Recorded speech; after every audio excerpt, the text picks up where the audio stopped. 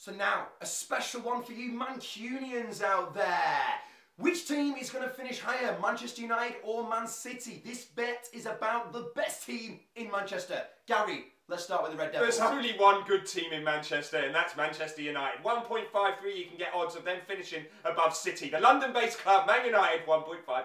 Well, for me personally, I think Man City are going to finish above United. They've lost a couple of players like Scholesy and Van der Sar, and Man City are hopefully going to get Sergio Aguero, and I think City are going to do it. You can get odds of 2.37 for Manchester City to be the top club in Manchester. 1.53, Manchester United. 2.37 Man. City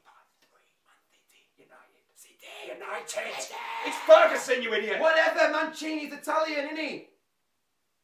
Don't forget, guys, click the links to all our Premier League preview videos here at sbatv.tv.